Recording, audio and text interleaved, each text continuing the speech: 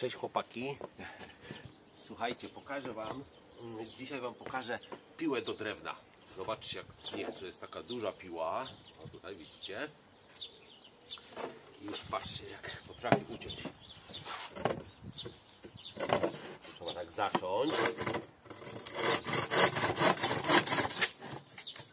O, Muszę tu przytrzymać nogą, wiecie?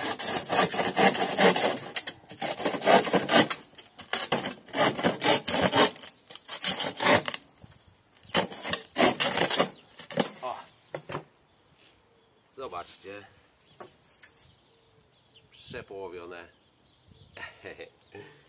Pokażę Wam teraz tą piłę. Zobaczcie, tu jest taka rączka. Tutaj jest brzeszczot. I tu są takie ostre kolce.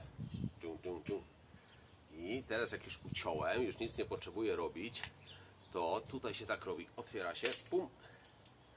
Wyjmuje się ten Rzeszczot. O.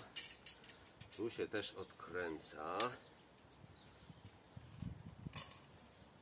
Tu się odkręca.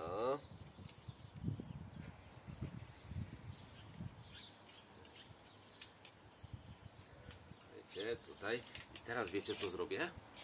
Teraz wezmę ten brzeszczot, założę, żeby te kolce były do środka, o te zęby, zęby.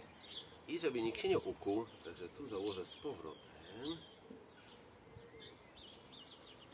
O, tutaj jest śrubka.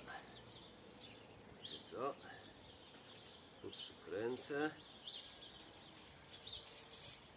O,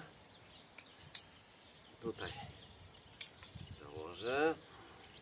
O, o tutaj uważać na rączkę i tu się tak teraz zamyka, zobaczcie. O, i tutaj już jest gładkie, piła jest bezpieczna do następnego użycia. Kocha Was moje bąble, buziaczki.